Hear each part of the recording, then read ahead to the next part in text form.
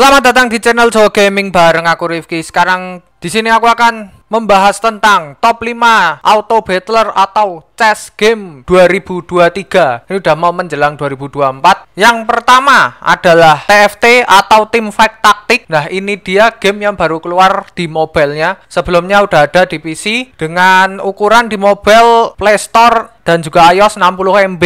Nanti kalau masuk ke in-game-nya itu sekitar 1,6 GB untuk semua konten-konten dan update-update-nya. Dan ini game udah di-download 10 juta kali padahal baru rilis di Asia Pasifik itu tanggal 22 November. Nah, game ini game yang cukup ringan untuk di mobilenya. Terus untuk TFT ini salah satu game auto battler yang mengusung tema yang agak berbeda dengan auto battler lain di mana di sini ada yang namanya Augment, di sini ada yang namanya Headliner, dan di setiap seasonnya kita akan merasakan sensasi yang berbeda karena bakal ada update yang kejutan.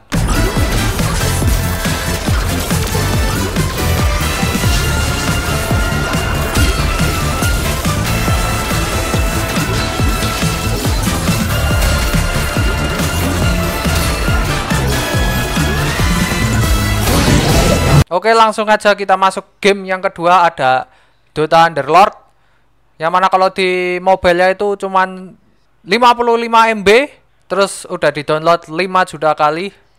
Ini buat kalian yang pecinta Dota Dan pengen main Dota versi catur Ini cocok banget buat main Underlord. This is cause for celebration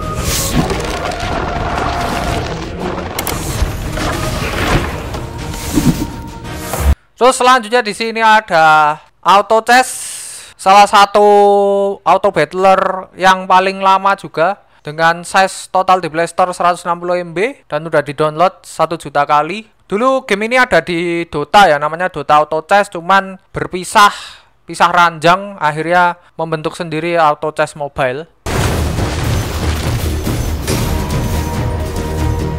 Terus kemudian ada Auto Chess War ini saudaraan atau gimana nggak tahu. Tapi mirip-mirip size-nya 155 MB dan udah di-download 500 ribu kali. Kemudian yang terakhir mungkin menjadi game catur sejuta umat karena bapak dari game ini adalah game sejuta umat warga Indonesia yaitu Magic Chess anakan dari Mobile Legend size-nya sendiri ya ikut sama Mobile Legend di Play Store 114 MB terus di in gamenya bakal ada update-update gede. Di download berapa kali? Puluhan juta. Oke mungkin itu dia 5 top auto better atau test game di tahun 2023 menjelang 2024 ini. Terima kasih yang sudah menonton. Jangan lupa like, comment, dan subscribe